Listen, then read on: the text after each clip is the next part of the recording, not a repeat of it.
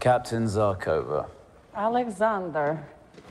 Still hanging around in the nicest of places? We would like to know a little more about that man you were chasing. Yes, I bet you would. But I would like to say hello to everybody first. So, hello. Zarkova, good to see you. Yeah, I wish I could say the same. Nobody's stopping you. Lance Corporal, you're still alive.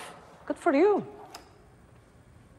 Thank you. Okay, great. Now that we have caught up, exchanged pleasantries, all these kinds of things, I'm going to have to ask you to stay the fuck away from my office. We had that guy before you got in our way. You did not have shit, and now I have a very big problem. Does your problem include the two jihadists that are on their way? Oh, look at that. We know more than you do.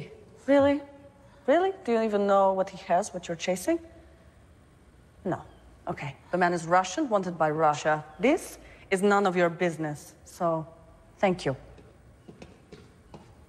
What is it that you want exactly, Colonel? We have intel, you have intel. We pool our resources for old time's sake.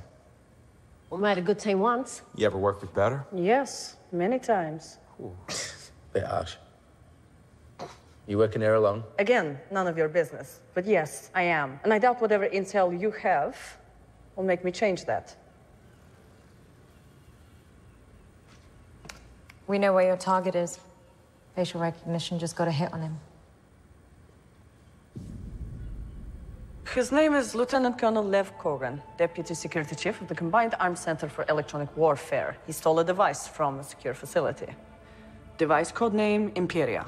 Imperia is a myth. Actually, it is very real. No fucking way. And? Sorry, Imperia's. Well, it's basically the cyber warfare equivalent of an atomic bomb. A cryptoviral Trojan horse. It can take down a city's network in seconds, power, security, emergency services, leaving the city utterly exposed to an attack. You mentioned jihadists.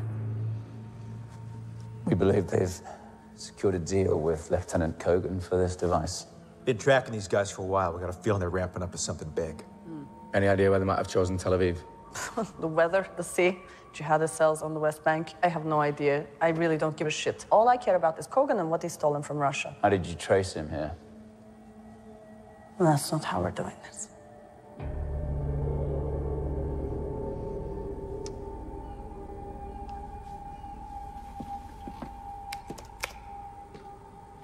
Facial recognition picked him up being helped into a short stay apartment in Shajara Heights. If we do this together, I take the lead, and Imperia's mine to take home to Russia.